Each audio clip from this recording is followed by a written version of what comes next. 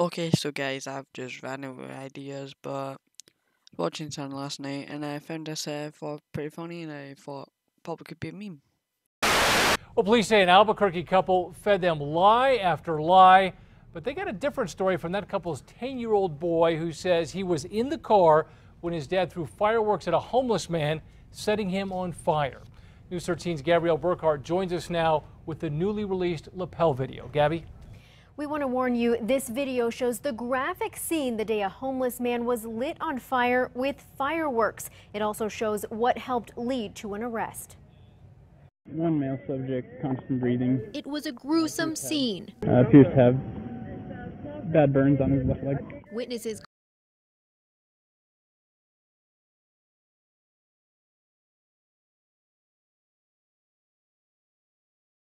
Fine. The last game I played, I ran a guild, so I'm more than prepared.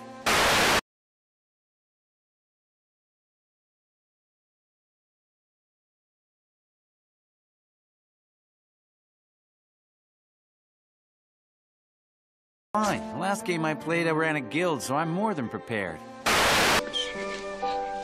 Wanna go tree climbing, Thomas J? His face hurts. And where is his glasses? He can't see without his glasses. Put his glasses on.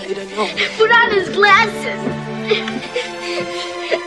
he was going to be an acrobat. He's gone, sweetheart. Get He's away. gone. Get-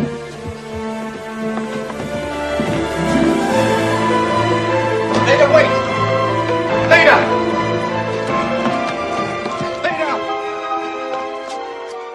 Fine. The last game I played, I ran a guild, so I'm more than prepared.